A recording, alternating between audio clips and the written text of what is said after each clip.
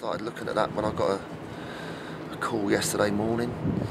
So um, no, all focus is fully on uh, on Saturday's game. Saturday only, Mm-hmm. just Saturday. That's it. Same as ever, same as always.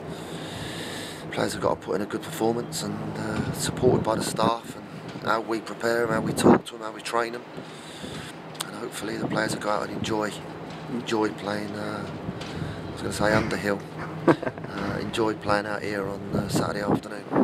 You've uh, well, Hereford have also just appointed a new manager. As somebody that's coming in new to a job, I mean, how is it? How important is it that you do hit the ground running and pick up results early? Uh, 24 points available. Uh, now we stand here right now, there's 24 points available.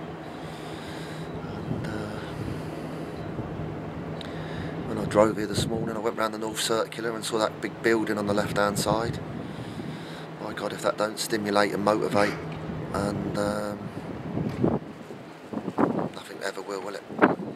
So, uh, so it's okay setting targets. There ain't no targets. It's just Saturday's game. We have to just do what best we can and um, put in a good performance.